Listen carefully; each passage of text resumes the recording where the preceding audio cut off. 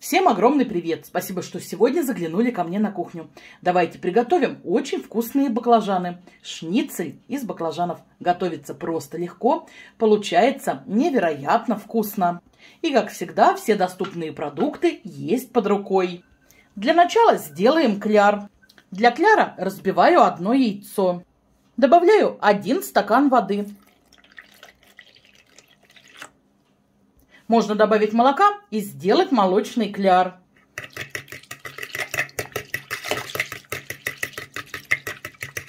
Все по вкусу солим. По вкусу добавляю черный молотый перец и сухой чеснок. Все хорошо перемешиваю.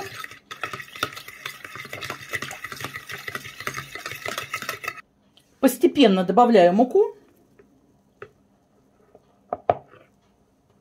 и замешиваю кляр. Можно взять венчик.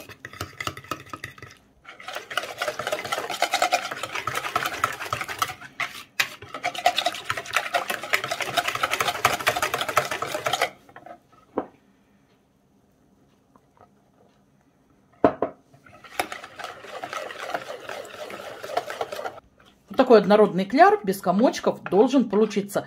Он не должен быть слишком густым или слишком жидкий. Такой что-то среднее, чуть гуще, чем 15% сметана. Баклажаны очень хорошо моем. Удаляем плодоножку.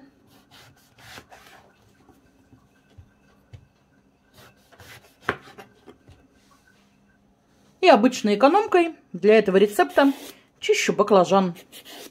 Чистится легко просто. Так будет намного нежнее и вкуснее. Очищаю так все баклажаны.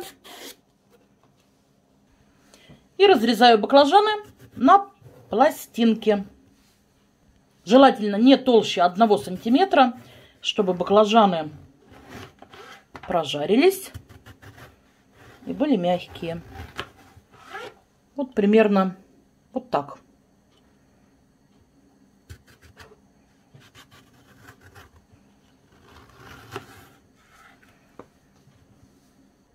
Баклажаны немного отбиваю молоточком для мяса. Сильно не отбивайте, буквально совсем чуть-чуть, чтобы было лучшее скрепление баклажана с нашим кляром. Как бы получается такие отбивные баклажаны. Переворачиваем на другую сторону.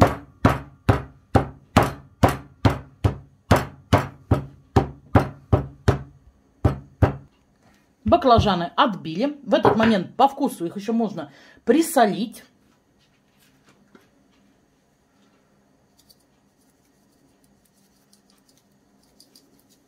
И теперь каждый кусочек баклажана обмакиваем в кляр с двух сторон.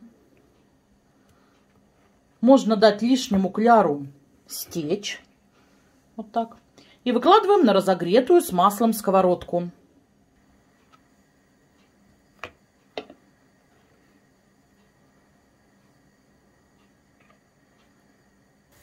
Обжариваю баклажаны в масле с двух сторон до золотистой корочки и до готовности баклажан. Как только они обжарятся, внутри станут мягкие, значит баклажаны полностью готовы. С остальными баклажанчиками поступаю точно так же. Немного их отбиваем. Сильно не надо. Баклажаны очень нежные, чтобы они у вас не порвались. Прям совсем чуть-чуть, чтобы сделать вот такие дырочки чтобы кляр хорошо пристал к баклажану. Можно немного посолить. Посмотрите, какая красота. Вот так прям легкими движениями руки просто отбили. Немного соли. Помните, что кляр у нас соленый. Конечно же, с двух сторон. Выкладываем готовые баклажаны на отдельную тарелку. Каждый баклажан, пока еще сверху горячий, смазываю чесноком.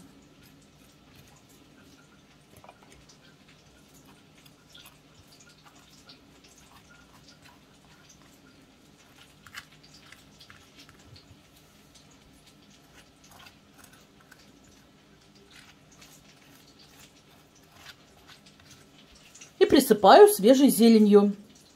У меня это самый обычный свежий укроп.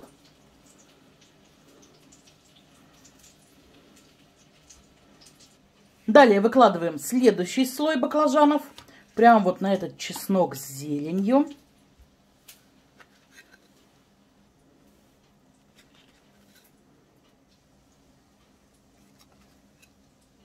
Опять все смазываю чесноком.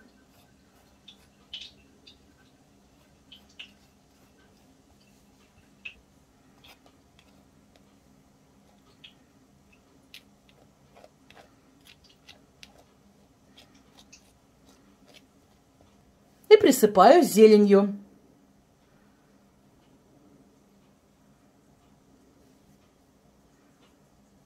И так повторяем слой за слоем, пока баклажаны не закончатся. Обязательно попробуйте приготовить эти необыкновенно вкусные баклажанчики. Я очень надеюсь, что они вам понравятся. К таким баклажанам очень подойдет греческий йогурт. Тоже просто попробуйте. Это невероятно вкусно.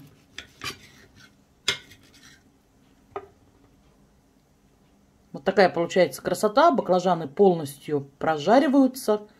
Они получаются сочные, в кляре и просто необыкновенные на вкус. Обязательно пробуйте, готовьте эти вкусные чесночные баклажаны. Кому понравится, подписывайтесь на канал. Нажимайте на колокольчик, не пропускайте простые доступные рецепты вместе со мной. Всем огромное спасибо, до свидания и пока.